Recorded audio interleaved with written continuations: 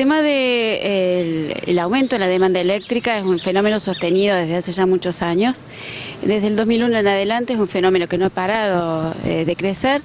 Según datos de la Fundación para el Desarrollo Eléctrico, la demanda energética creció en septiembre un 9% en todo el país, comparándolo con el mismo mes del 2012.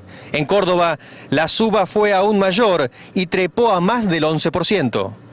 Y esto tiene básicamente dos aspectos. Por un lado, el, crecimiento vegetativo de la población, que esto es algo natural y lo sabemos que es un fenómeno propio de, lo urbano sobre todo.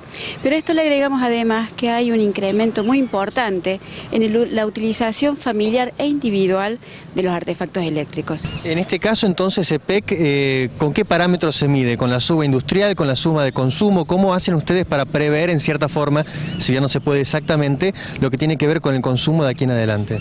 Se hacen análisis de la curva de la demanda global generalmente, digamos, si bien el, aumento en la demanda relacionada con la industria tiene que ver con otras variables que tienen que ver fundamentalmente con lo macroeconómico, pero el conjunto de la demanda es lo que se analiza y por otra parte también se van haciendo evaluaciones que permiten, por ejemplo, establecer cambios en el comportamiento de la demanda.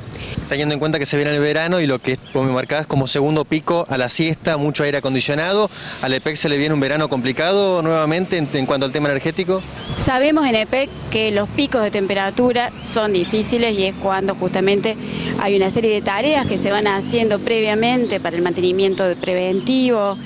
Así que me parece que es un buen momento hoy, donde tenemos un día tranquilo para reflexionar un minuto sobre este tema, porque la energía eléctrica no es infinita y no, no es ajena a consecuencias ambientales el aumento de este tan importante demanda que estamos teniendo.